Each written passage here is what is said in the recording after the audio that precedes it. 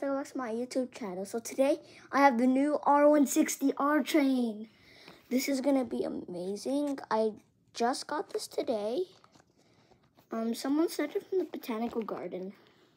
So now if you guys have the R1, R no R46 R train, then that means that one is rare. Look at the new catalog. All of these trains are on like wooden tracks and stuff even on the other side.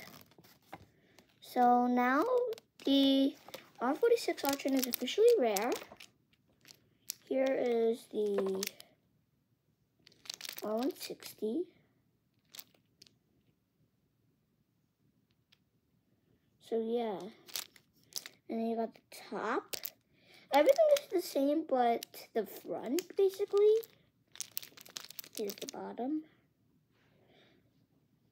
So I went to the botanical garden like yesterday, and they had a R170 no R179 um uh C train, and then they had a Nassau Street local R16 new R160 J train local yeah, it, when I went to the botanical garden, it didn't say express.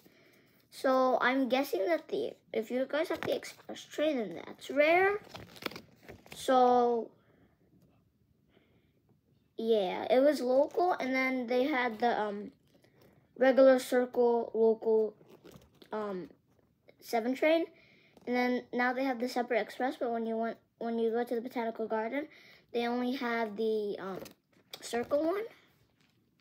Yeah, I literally just got this yesterday. I swear. I love this train. So yeah, and they have the new R46Q trains, but when I was at the Botanical Garden, they had the R160s. So yeah, I hope you guys have a good day and stay safe. Please subscribe and look in your collection for the R46. Okay, bye.